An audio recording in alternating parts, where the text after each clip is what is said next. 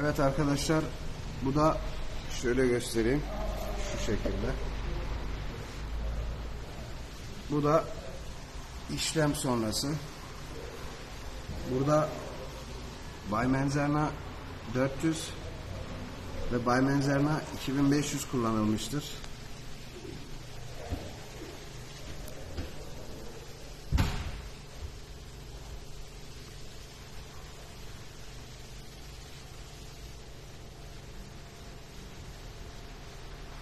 Bantları şu şekilde alalım.